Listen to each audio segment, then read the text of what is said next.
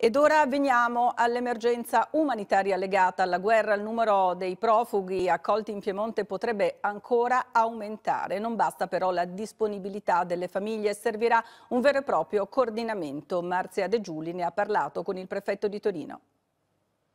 Siamo venuti con padroni di casa che lui doveva dichiarare che noi ospitalità la signora Anna vive da tempo nel torinese. Una famiglia si è messa a disposizione per ospitare le sue figlie con due bambini in fuga dalla guerra. All'ufficio immigrazione di Corso Verona si contano sulle dita di una mano gli ucraini in coda. Il segno, conferma il prefetto di Torino, che il Piemonte per ora è fuori dai grandi flussi. La buona notizia è che l'Italia in questa emergenza concede la protezione internazionale automaticamente. Basta presentarsi al più vicino presidio di polizia superati i 90 giorni hanno bisogno di essere muniti di un permesso di soggiorno che viene rilasciato dalle questure senza neppure la richiesta dell'asilo politico. Quindi se io sono ucraina, mi presento in un presidio di polizia e do i miei documenti, automaticamente mi viene poi riconosciuto il diritto di rimanere qui? Sì, viene avviata la procedura per il rilascio poi del titolo di soggiorno, potrebbero essere di sei mesi, potrebbero essere di un anno, questo dipenderà dalle disposizioni che arriveranno alle questure dal Dipartimento di Pubblica Sicurezza.